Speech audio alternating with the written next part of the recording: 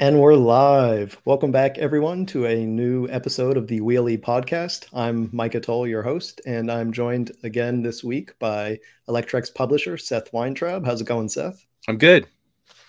Awesome. So we've got a bunch of e-bike and other e-mobility stories this week. Some of the topics we'll be covering are Arcimoto's new three-wheeled leaning electric bike.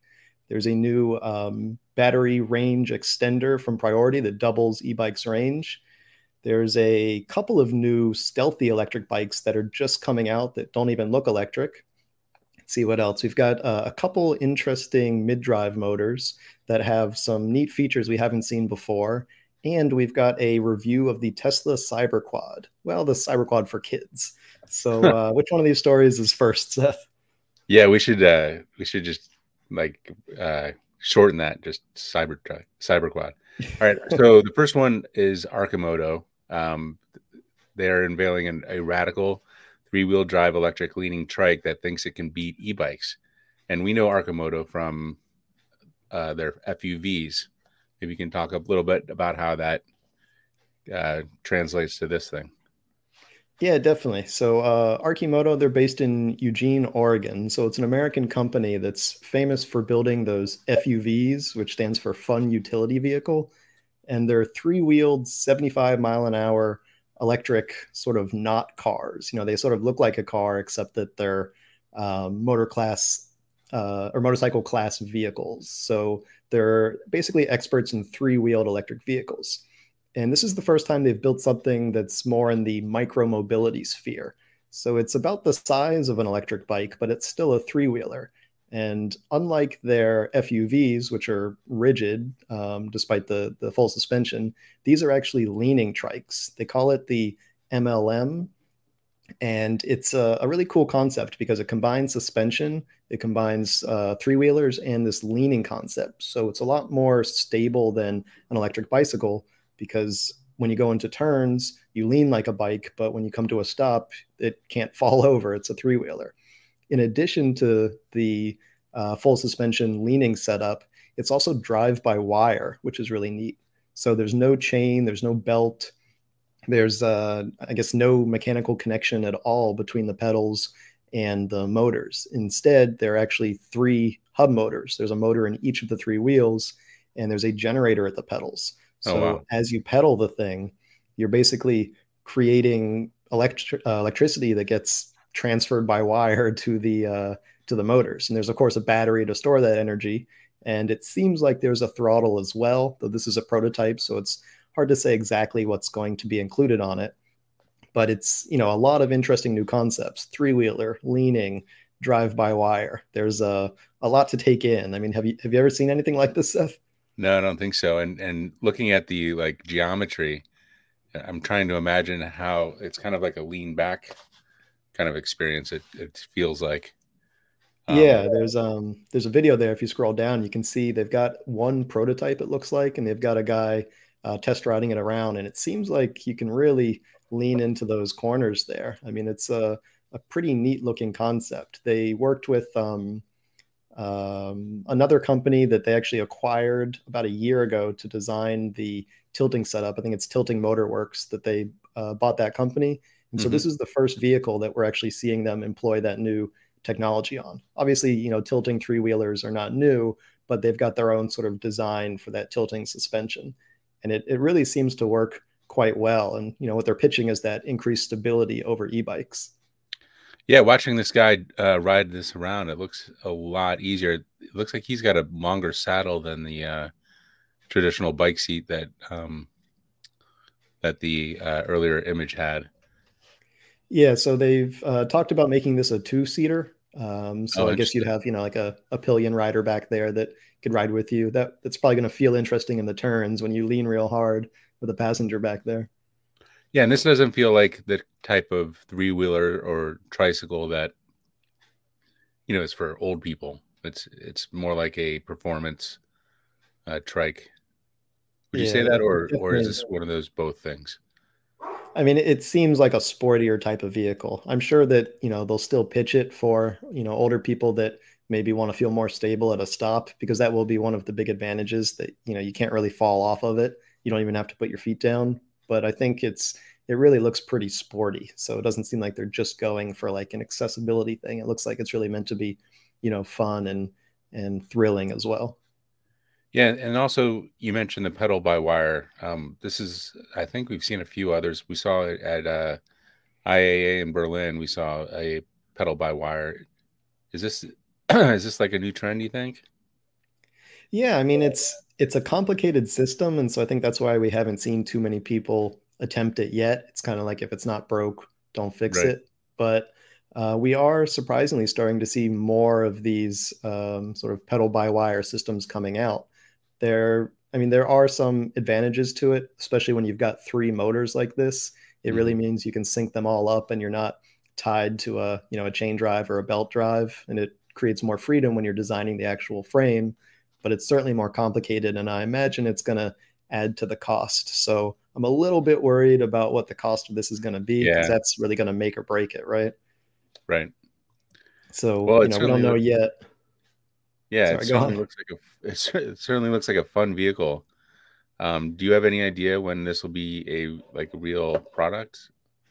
They're saying quarter four of this year, so I assume that means December 31st is the day they'll roll it out because that's a lot to finish designing by the end right. of this year. That's that's usually when quarter four things come out. All right. Well, that that seems pretty cool. I uh, kind of look forward to uh, seeing more about that.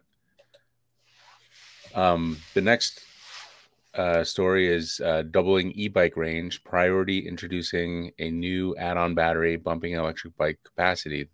Great idea. Tell us about this. So yeah, this is a um, basically a second doubling battery that Priority's created that's designed for the Priority Current bike. Uh, it's actually a bike that I have. It's right here behind me, and uh, it's a really awesome e-bike. It's like my go-to sort of fitness bike because it's a really nice setup, belt drive, continuously variable transmission, hydraulic brakes, mid drive. So there's a lot to like there. But for a lot of people that want to be able to go further than the 500 watt hour battery will allow, they've created this setup. And it's just like a plug and play thing. So anyone can install it themselves. You basically just uh, bolt that rack onto the back of the bike, and it's a double layer rack. So you're not only getting an extra battery, you're getting a, a rack that you can actually hang panniers on and that sort of thing. And then the second battery just slips right in there, and you've always got it there, piggybacking on top of your um, the battery you have there. And so they've actually had to design a controller to uh, sort of smartly choose between the two batteries and, and choose which one's going to be used. And as I understand it, they're uh, using a voltage based system so that the higher voltage battery is the one that's going to get drained. And so it's not just like a simple uh, parallel connection where you'd actually have to make sure that both batteries are at a similar charge when you plug them together. I've you know done that before on some of my e-bikes, and it's a common DIY method, but it's a, a quick and dirty method. So what they've done here is a little bit more intelligent and takes a little bit more design chops to, to do it in an elegant way. But it also means that you can easily charge just one of the batteries at a time. And so you can just always leave that one on the back and take the, the middle battery in and, and charge that and save the rear battery for just when you're going further, or you can charge both. Uh, there's just sort of a, a lot of options there. But I know for my bike, I get about 40 ish miles per charge, and I'm keeping it on pretty low pedal assist because, you know, that's the bike I use for fitness. But if you're rocking the 28 miles an hour on the highest pedal assist level, you might only get 20, 25 miles of range. And so to be able to boost that to 40 or 50 miles is something that not a lot of e-bikes can do. So I, I think it's pretty cool that they've come out with this new system. Yeah, it, it uh, like how so how how will it work or or can you buy this for uh, other bikes um, out there? Do they have to be the similar voltage, um, etc.? So they've got it set up with the connectors that fit that motor and that battery. Mm-hmm. So I they don't say this, but I'm guessing that you might be able to wire it into other systems if they're also 48 volt and you you know chop off the connector and use it um, mm-hmm. with your own connectors. Now I can't guarantee that, and I'm sure that's going to void your warranty. So right. don't go do that and say Micah said it was all right. But um, I imagine that there would be ways to make it fit other bikes and other motor systems. but it is designed to be plug and play with their system. And their system, it's not it's not an off the shelf thing. It's a uh, I mean, it kind of looks like a, what is that? Shimano? No. Um, that I believe is a Truckrun motor. So it's okay. a lesser known brand, but it's a really high torque mid drive motor. And okay. uh, we don't see it that often. There, I know of like two bikes I can think of off the top of my head that use it, but it's actually a, a really nice motor. It's a little bit where, louder than some I've I've heard before. Where are they based out of? Truckrun? Uh, it's a Chinese brand, I believe. Chinese, okay. Yeah. Cool. I mean, at this well, at this point, there's like a dozen motor manufacturers out there. Right. They probably all trade trade secrets and stuff. All right. Yeah, but it's it's a cool system though. I like it. I'm planning to get one so I can test out the range and do some like really long rides. That's not it behind you, is it? Uh, well, this is the bike, but I don't have the battery yet. Okay. I mean, I don't have the the extender. Yeah. Okay. Cool. All right, moving forward. Uh, the fast, stealthy Babymaker 2. Love the name. Uh, then the uh, model on there as well. Uh, electric bike launched at ultra low price, touts USA assembly in Detroit. Yeah, so we talked about this a little bit two weeks ago when they first teased that the bike was coming. Uh, but the Babymaker originally was a very stealthy single speed belt drive e bike that launched on, I think it was Indiegogo a few years ago. They made like $13 million. So now they're back. It sounds like an 80s movie, like back and better than ever. So it's uh, it's returned with the Babymaker 2, and they've upped the battery capacity. So it's it's still not that big. Now it's at 36 volts and 10 amp hours, where I think it was uh, seven amp hours or six amp hours before. So uh, about 40% more battery, which you know obviously translates into 40% more range, and still a number of good components. Uh, that Gates carbon belt drive, which is a very high-end belt drive. Also, Magura hydraulic disc brakes, which is a surprisingly high-end brake. I'm not sure why they. It seems odd to put it on a bike like this because it should be on a much nicer bike. Um, the motor is not terribly large. I believe it's a 350 watt motor, uh, but it does get up to 25 miles an hour. So that little motor is working pretty hard. And uh, overall, it's just like a nice sort of stealthy, um, low profile bike but the real kicker is the price. It has an MSRP of 2200 but they were selling it on the first day with a thousand dollars off, so it was 1200 bucks. And then now I think it's um, like eight or nine hundred dollars off, and the you know the the sales going down each day that they're selling this on uh, um, on their site. This time I don't think they did Indiegogo. They're just you know doing like a, a crowdfunding sort of launch on their own site. But that's I mean a, a serious deal for the parts you're getting. Uh, you know that I mean that Gates carbon drive is expensive by itself, let alone those other parts. Yeah, I think they made a lot of uh, really good decisions on uh, what to add and to keep the price low. Obviously, some very high end components, the Gates drive, um, belt drive. The wheels look solid. They didn't try to put on a uh, suspension fork. Um, you know, a lot of times these bikes will have a uh, you know, like a, a low cost suspension fork, which kind of ruins the whole thing. Um, Definitely. So, uh, what what's going on with gearing here? I know Gates doesn't have, um, or you know, with the belt drive, you don't have the traditional gears. Yeah, so this is a single speed, which for some people that's going to be a bummer, you know, especially yep. if you're in a hilly area.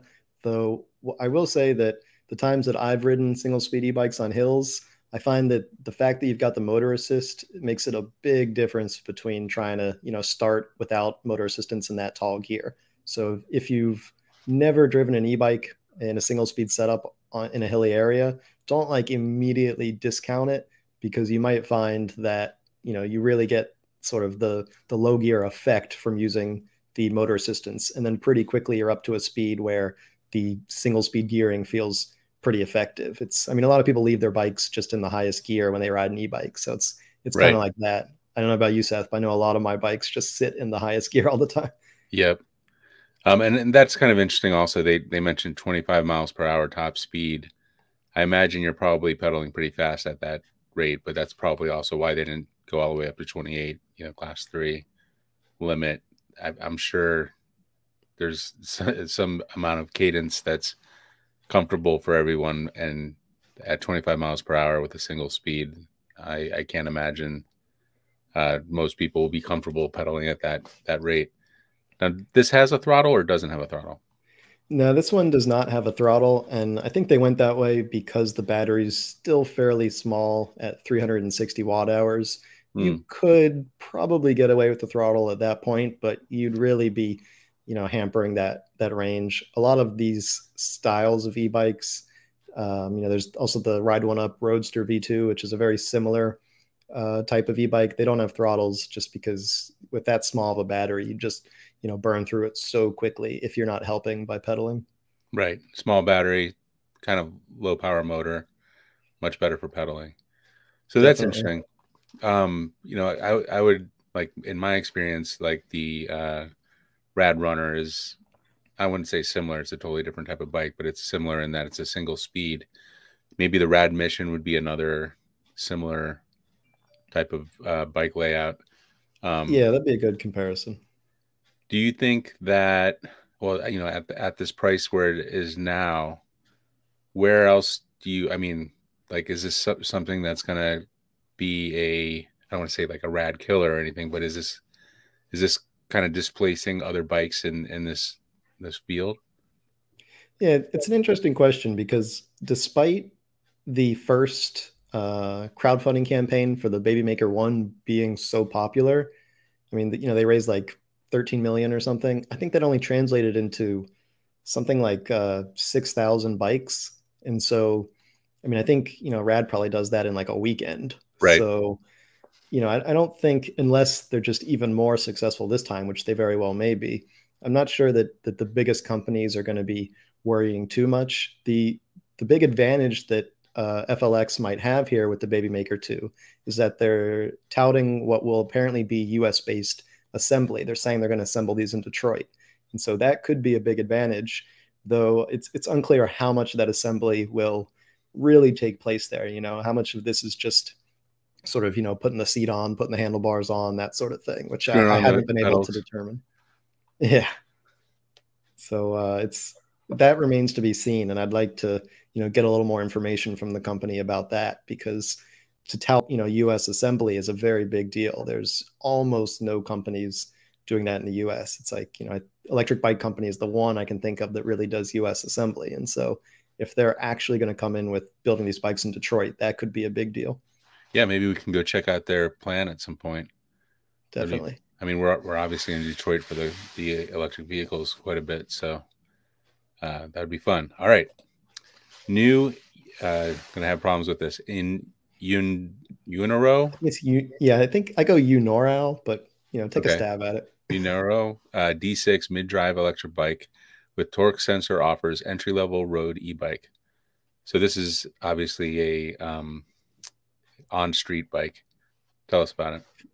For sure, yeah. And so this is it's an interesting one to compare to the Babymaker 2 because it's also that sort of street sporty type of road bike, though this one leans a lot more into the fitness aspect.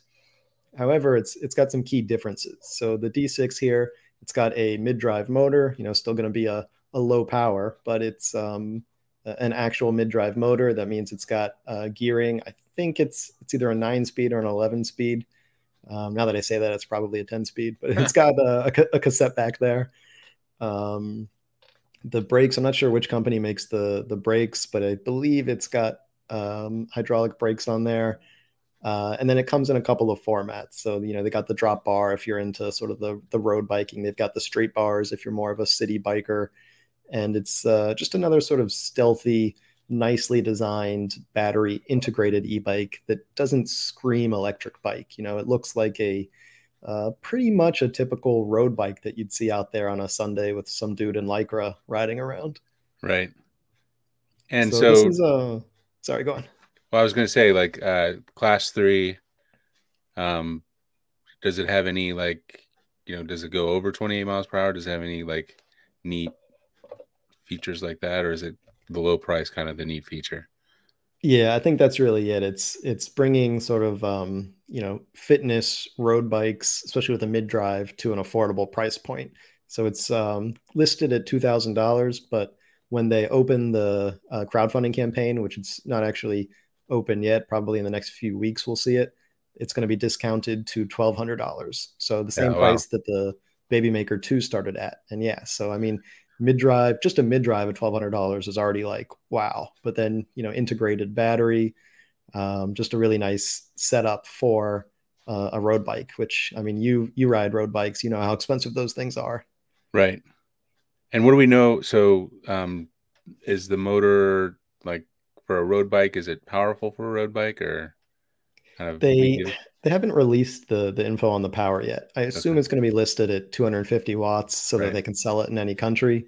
But the real power I'm guessing is going to be in like the 350 400 watt range. It definitely doesn't look like a very big motor. There's not a right. lot there. And I can't even tell by looking at it what brand it is. I don't know if you recognize that one, but no. I don't recognize it. Yeah. No, it looks like a, a, good a good format though.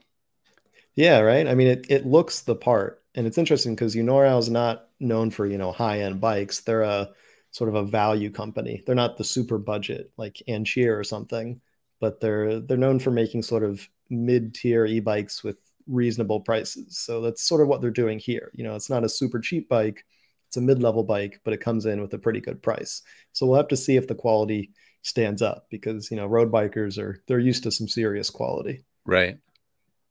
Yeah, if you're going road bike, you're probably going to have a, a really high baseline there. Yeah, so this one I think it could be interesting. I mean, I'm not um, particularly a you know a road biker myself. Mm-hmm. Like I said, the Priority Current is like my fitness bike, and that's very much sort of a city hybrid bike. I'm not a over the bars kind of hunched guy. Mm-hmm. Though I did recently get a um, electric gravel bike with the Roadster V2 gravel, so I'm starting to get a little more into that sort of like hunched over road bikey type of riding. But this one, it's interesting enough that I, I definitely want to try this and see if you know that's my jam. Yeah, was that was going to be my last question. Is this something that you could kind of upgrade with some uh, bigger wheels and uh, to a, a gravel bike? it's got that look to it. I mean, I I think there's probably going to be clearance for some, you know, gravel tires in there, and it's if it's you know robust enough. I don't know anything about the construction of that frame, so I don't right, you know want to ship the thing to pieces, you know, and have uh, you know bosses falling off of it or anything. But assuming it's a well-made frame, then I could definitely see you know putting some gravel tires on there and having you know a fun little electric gravel bike at a fraction of the cost of you know something like uh, the Yamaha Wabash, which is a great gravel bike, but I think it's like three and a half, maybe right. close to four thousand dollars. Yeah, I think gravel, just typical bike store gravel bikes are thirty five hundred at the very lowest. Yeah, so I mean, this would be huge if if you could get an electric gravel bike for twelve hundred bucks. Yeah. All right. Uh, moving on. This is kind of my favorite. Uh, Biktrix XD unveiled as mind-boggling powerful electric bike motor with 300 nanometers of torque. Tell us about that. yeah, that. so this this one is like I think mind-boggling is a fair word to use here because this is not only a hugely powerful mid-drive electric bike motor, but they've totally rethought how mid-drive motors work. So to sort of set the stage for this, the most powerful mid-drive electric bike motors right now uh, the biggest retail option is probably the Bafang Ultra, also known as the M620.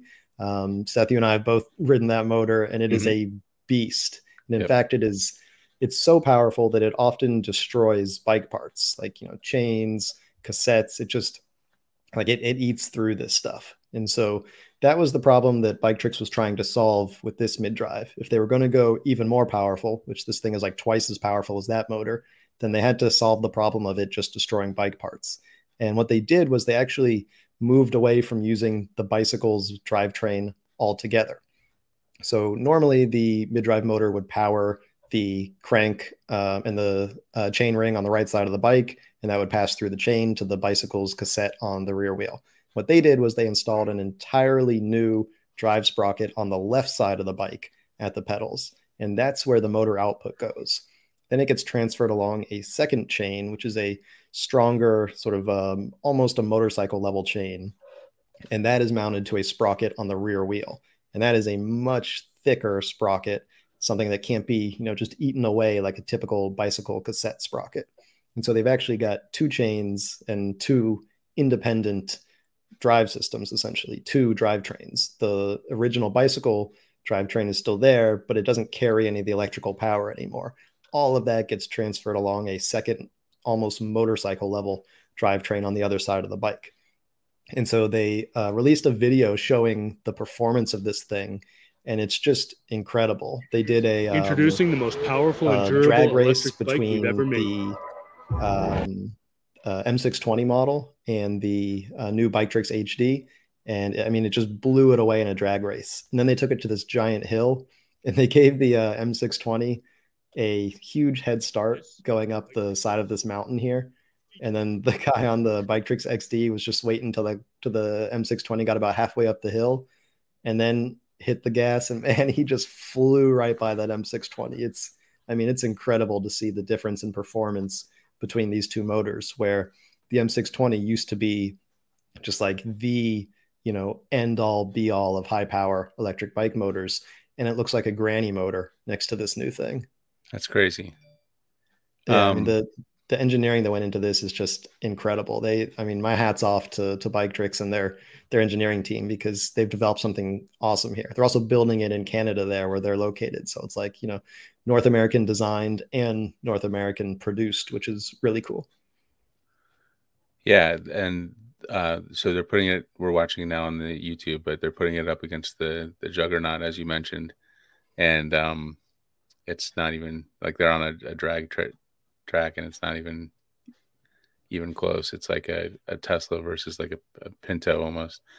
Um, yeah, it's it's crazy. And skip like uh, another 30 seconds or 45 seconds ahead to get to uh-huh. that mountain there.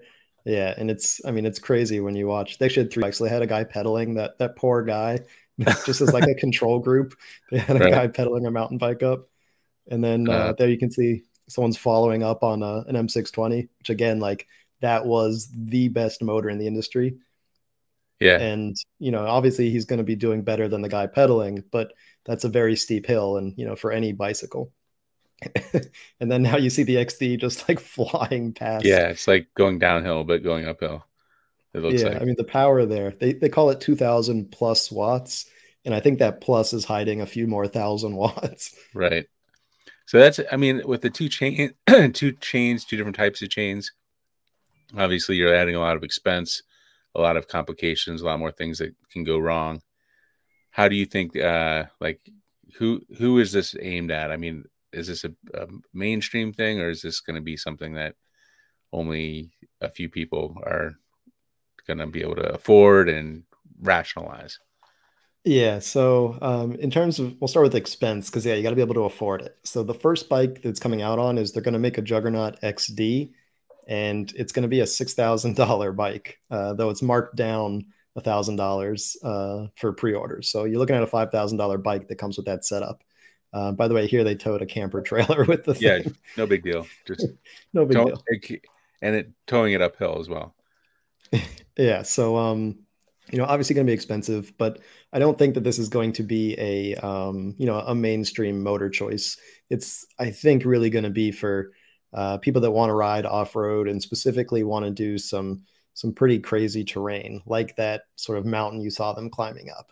And so it's really going to be sort of a, a, specialty motor for that, not something you'd install on a, a commuter bike or something you'd use every day. And uh, and even then though, like there was a discussion in the comments about um, you know whether you can actually use this like a bicycle and whether you know we're looking at a motorcycle here. And I I think that I would still say that this is uh, certainly capable of doing like e-bike fitness style riding. And the way I would compare it, it's like you know I have a Sur-Ron, and it's it's fun to go out there and ride it, you know, like do dirt bike style riding. But I don't feel like I'm on a, an electric bike at that point. You know, like I feel like I'm riding a dirt bike. And when I'm on an electric bike and I'm pedaling, I feel like I'm part of the process. You know, like I'm part of the machine. And even when you have a high power e-bike motor like this, you still feel like you're part of the equation. You know, maybe you're adding your 250 watts or whatever to right. its 2000 watts, but it's just like you'd be adding your 250 watts to another 250 watt e-bike. You're still doing the same amount of work. It's just doing a lot more along with you. So it's still a, a really awesome sort of pedaling experience. That's the way I would put it, at least. and you can ca- carry a, a, a, trailer as well, so that's a nice bonus. yeah, you can take the family camping with it. yeah, I kind of, you know, like I, I can't get over the uh, the complexity of the chains though. Um, I, I wonder why they didn't just go with one burly tra- chain instead of the two different chains.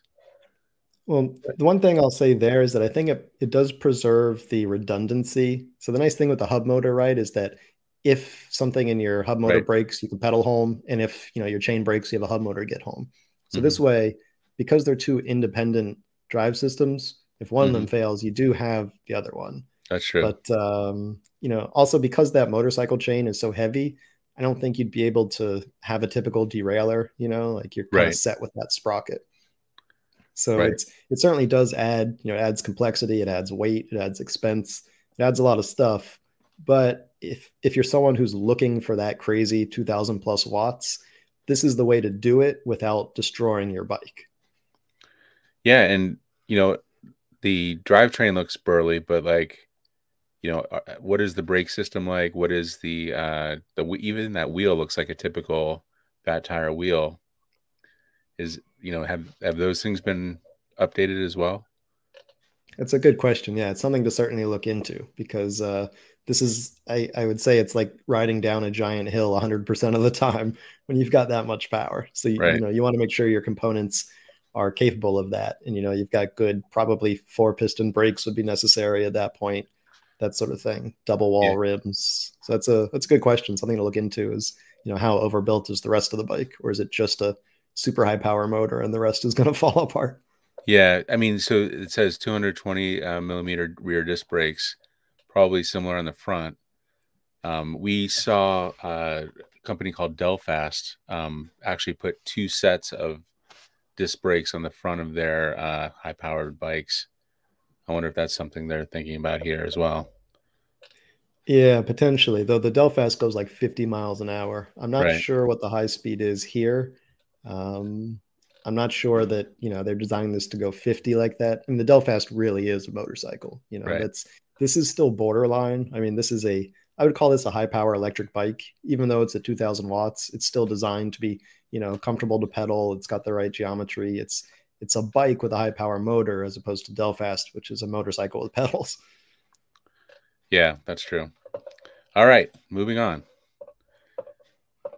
Uh, new electric uh, bike mid drive motor with built in automatic transmission ready for production. So, yeah, this is a, um, I call it new. It was actually unveiled a little over a year ago by Valeo. I hope I'm saying that right. It's a French company. And the idea here is that the transmission and the motor are all combined at the pedals there. So it's a bit chunkier than what you think of of you know like a typical mid-drive motor like you see a Bosch motor on an e-bike. That's because it's hiding an automatic transmission in there. So they worked with a company called Effigear, which I believe is also another French company that does transmission designs. So they teamed up and they designed that automatic transmission, and it puts it all in there, um, basically centered in the bike. So you get that nice, um, both the low center of gravity and all the weight is is right in the middle of the bike, which probably helps on the trails when you're you know flicking that thing around. That it's you don't have a large moment with a lot more weight out of the end of the bike like you typically would with a derailleur setup. And it also allows a uh, belt drive where with a normal belt drive e-bike, either you're going to have a internally geared hub to shift gears, or you're going to end up with a single speed like we saw on the Babymaker 2, because there's just no way to shift gears with a belt, or at least no one has developed one yet. And so you well, an internally geared hub. Yeah, they have the internal geared hubs. Right. So so even then though you've you know you still got your transmission out in the back wheel. Right. So the whole idea here is that you have it centered in the bike. So it's probably also another complicated solution, but it looks like a pretty neat setup and it could do interesting things for the bike's handling, getting that weight even closer to the center of the bike. Yeah, so the sprocket isn't tied directly to the uh the pedals, right? It's it's going to vary depending on the the gearing. Right. And so I think that's also why when you see that picture there, it's like a really small chain ring and then, you know, like a big sprocket, basically the same size, which you almost never see. And so um, you've got that internal automatic transmission in there that's really doing all the work for shifting gears. it's automatic, and sometimes these things can be a little um, you know finicky. These automatic transmissions, or they shift when a human wouldn't normally shift. So it'll be interesting to determine uh, how well it actually works, how good the predictive shifting is in the automatic transmission.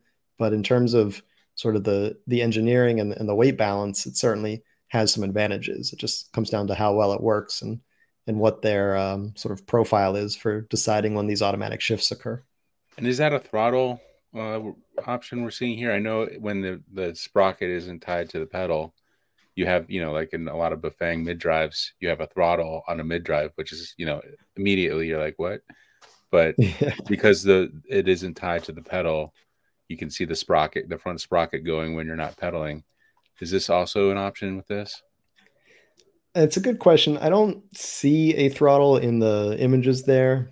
It it could be something they could add because you're right. You know, it's you could definitely do that, and you get that sort of trippy thing where the sprocket's turning but the pedals aren't. Right. But because this is a French company, I don't see them at least doing it initially because they're going to have to conform to European Union bike laws. And as we all know, unfortunately, Europeans don't get to enjoy throttles the way you do in uh, some of the rest of the world. At least not so, legally. Yeah, not legally. So um, they're probably not going to come out at least on the first version with a throttle. Though it'd mm-hmm. be great if they have, you know, like a a plug and play throttle that they could send to a US customer. You know, if you were to buy one and it's legal where you live, then you could just plug it in because that would be great, especially with that automatic transmission. Oh man, that'd be fun. And you could have a gear sensor in there and everything. That could be yeah. a nice setup. Yeah, that'd be nice. All right. Well, we'll we'll look forward to hearing more about this. Um, and then finally, uh, the ses- the Tesla Cyberquad for kids uh, review. Yeah, so... Mini electric ATV. That's so much fun. You stole it from your poor nephews. Yeah. so this is uh this is a blast. So a little backstory here. Obviously, you know, mo- I think most people know about the Tesla Cyberquad when Tesla unveiled the Cybertruck back in what was that end of 2019. Um. They they also unveiled the Cyberquad, which is a smaller electric ATV, and uh, it was sort of like a you know one more thing at the end of the big unveiling for the Cybertruck. It's this really awesome looking ATV. It sort of had the Cybertruck's polygonal angular design, but it's been two and a half years or something, and there's still no uh, estimated date for when the Cyber Quad is going to be released. But that didn't stop. yeah, there you go. that matter. And and yeah, and I think the truck's gonna come a long time before the quad. But that didn't stop uh, Radio Flyer from saying, "Hey, we can build something like this." So they teamed up with Tesla, and they've worked together before. They've made like a kids um, Model S, I believe, and mm-hmm. and a couple of Tesla themed products. So Radio Flyer with Tesla designed a kids version of the Cyberquad, and if you're thinking like, oh, you know, it's one of those like power wheels that you get at Walmart and it's got like a little lantern battery in it, it's a lot more powerful than that. So I got to test out one of these and uh, it was, you know, I, mostly I was meant to, you know, let my uh, nephews ride it around. They're eight and 10, but really I did most of the testing. And this thing can move an adult. It's got a 150 pound weight limit. I'm a bit over that, but man, this thing moves with me on it. It's now keep in mind it's only rated for 10 miles an hour. There's two speeds, five and 10 miles an hour, but you'll never use the five mile an hour speed. Right. But even even with a you know over the weight limit adult on it, it still moves at its top speed. So you know it's really uh, a high powered device. It's the motor says 500 watts. I can see it putting out a little bit more, especially if you know that's the continuous rating. And uh, it's just a really neatly designed uh, little kids ATV. It's got a, a, removable battery, lithium ion, so it's you know not one of these lead acid kids toys. It's got rear suspension. It's a solid axle, so the whole you know rear axle moves together. Um, there's no suspension in the front, but it's got uh, Ackermann steering. I mean, you know, disc brakes. The whole thing's really pretty nicely designed for a kid's toy. And the fact that it can move an adult means you know it's over engineered for kids for sure. But uh, I mean, this thing is just it's a hoot. Like, eh, I mean, it looks great, doesn't it? Like, yeah, I, w- I wonder if this is possible. Like, will mall cops be asking for these instead of their segways? Like, is this possible that there's a com- commercial use for this, or is this only a toy? I mean, I could see it. It's also got good range. Like that's the thing. It didn't feel like a toy at all when I was using it. Like when you put kids on it, it looks like a toy. But the fact that like I could ride around, I was riding it around on roads, like you know, it's probably not street legal, but you know, going around the neighborhood and stuff. Like, you know, I was stopping at stop signs, cars were letting me go. Like this thing was like a small transportation device, not just mm-hmm. a kid's toy. I could certainly see, you know, people using it for that kind of utility work. It's, I mean, it's got power, it's got range, it's got a range of 15 miles. Isn't that right. crazy? That's a lot of mall laps. Yeah, uh, yeah. I mean that that would last all day. Right. Um. That, so that's interesting. Uh, price though, it's not like uh one of the the Walmart things either. Uh, a little yeah. Little yeah, I think you could get like seven or eight of those Walmart uh, two hundred and fifty dollar Power Wheels for one of these two thousand dollar uh, Tesla Cyber Quad for kids. It's a bit pricey, though. You'll it might be nice to hear that you won't actually have to pay two thousand dollars because you can't actually buy one. They're sold out for like probably a long, long time. They sold out right. basically so immediately. So you'll probably be able to buy one on eBay in a few months for like four grand. Yeah, yeah, they're actually like listed that. on on eBay. I looked it up, and yeah, they're like there are people selling them for like three, four grand. It's it's nuts. It's not surprising at all. Um, yeah. Yeah, I mean that looks like a super fun toy. Like I kind of feel like I grew up in the wrong era. Uh, right? Yeah. uh, I'm just amazed how powerful it is. I wonder. I mean, the original Cybertruck release date was right around now, or a few months ago, actually. Um, I wonder if you know at the outset, Radio Flyer was like, "All right, when is this released? All right, we're gonna make it for the release date."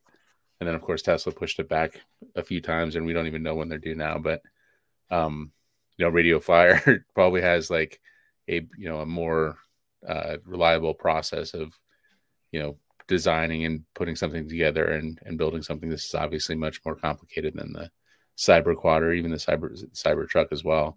So I wonder if that was it was originally supposed to be released alongside the uh, the, tr- the truck and the quad. They really did. Uh, you know, we're looking at the video right now. They really did kind of like do go the extra mile with like the charger that looks like the cyber quad and, and all the little nuances like the lighting and stuff. Yeah, I mean they really paid homage so well to the original cyber quad, which you really only have like a few minutes of video footage and a couple photos to yeah. sort of base it on. And I'm, you know, I'm really impressed with how well they did. It makes you wonder why Tesla doesn't produce the Cyber Quad first because I almost feel like that would be a lot less work than the the truck. Yeah, I mean, it and it sounds like they're so, still serious about making it. Um, we saw a video recently with uh, Franz, uh, the Tesla designer, and his kids, where he was on a cyber quad, like a real one, and his kids were on this one, and you know, so it's still happening and they're still in development, but um, it doesn't seem like uh, we're going to hear from Tesla, you know, look at get a look at Tesla's version anytime soon. Yeah, I almost wonder if, you know, once they actually produce the Cyber Quad, it opens up, you know, that they're actually producing things other than cars. Because I know having they kicked around the idea of an electric dirt bike before, um, right. it was shortly after the uh, Cybertruck reveal. I know that Elon is very anti Tesla motorcycle because he had a bad motorcycle experience uh, in his youth. But they've they've actually talked about dirt bikes, and so if they make a cyber quad, then it seems like they have to start following up with non-car things. Yeah, it would it would be really cool to see them uh, get into mobility, uh, you know, smaller mobility items. Not maybe not a scooter, but you know something in in that realm. Yeah, when are we going to get the bike? I mean, that seems like the simple, like that's low hanging fruit, right? It's so right. easy to build a bike compared to a car. Yeah, and you know they have the motor capability, they have the battery capability, obviously, and that's ninety percent of the the game.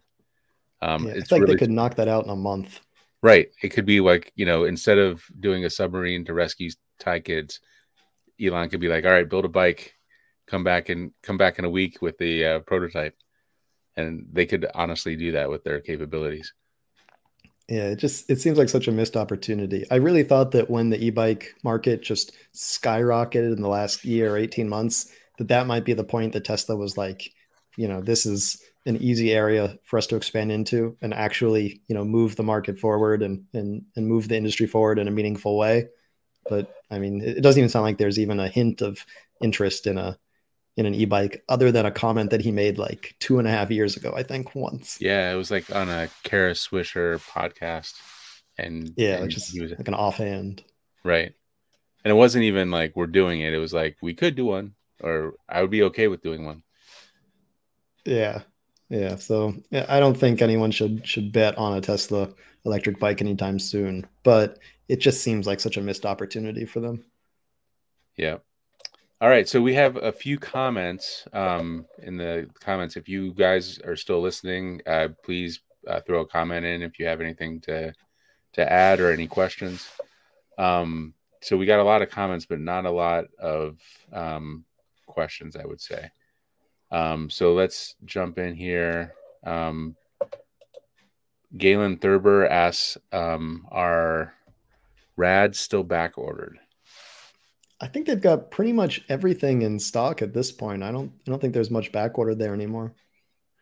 Yeah, and in fact, um, uh, you posted today. There's a, a sale on a specific um, Rad runners. Is that is that right? So the Rad, Rad Runner, Runner, and the um, uh, Rad Rover Six Plus, so their highest end bike, um, they both of them they dropped the price two hundred. Yeah, so not only do they have bikes in stock, but they're able to lower prices, which is an indication that you know they're not um, you know struggling to to meet supply kind of thing. So what does that bring down the rad? Because I know they hiked the price on the rad runner. What does that bring it down to? So that brings it down to twelve ninety nine now, which in my opinion is a pretty great price. When it went up to fourteen ninety nine, it was like great bike, eh, medium price. But now right. it's back in that like you know two thumbs up, go grab one kind of pricing. Right, and and that's the upgraded version with the um, what what what are the upgrades on that one? Um, so the well, that's the the base Rad Runner, the Rad uh-huh. uh, Rad Rover Plus, the upgraded one. Uh, that's also two hundred dollars down. So now it's down to I think seventeen ninety nine, and that's the one okay. that has the hydraulic disc brakes. It's got the dual displays, the new battery that's uh, like half integrated into the frame. Gotcha. Um, yeah, all sorts of things, like a newly designed frame. That's like the big upgraded one. Um, here's a question uh, we get quite a bit, and it, it's actually something we talk about a little bit. Where, so are bicycle lights optional on all e-bikes, or is that a standard? Um, so, you know, I think you agree with me when I say that um, we think that they should be integrated on all bikes.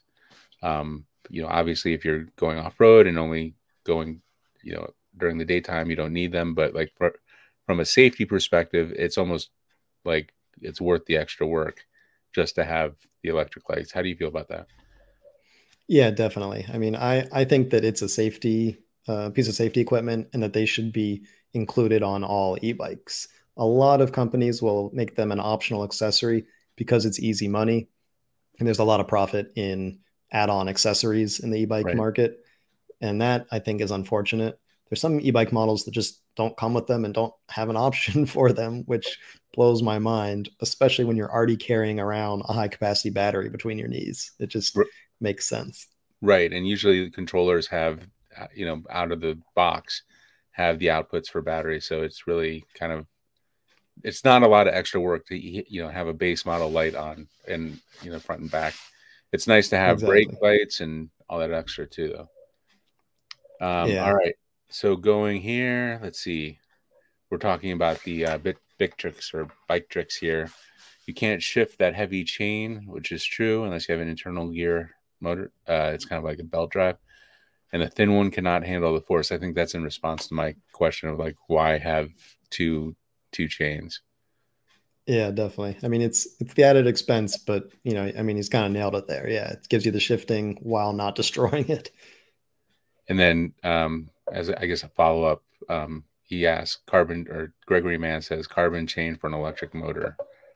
I mean, that's to be like like high carbon steel, maybe. Is that the idea? Is it aren't aren't um, belt drives considered carbon chains. I don't know. So, uh, well, Gates has their, I mean, their carbon fiber reinforced belt on the mm-hmm. chain. Mm-hmm. Uh, you know, I assume they're made from some like you know highly corrosion resistant steel. You could do high carbon steel, but I think it'd rust like crazy. Right. All right, and then one more on that. Uh, would have needed something pretty chunky if one chain belt.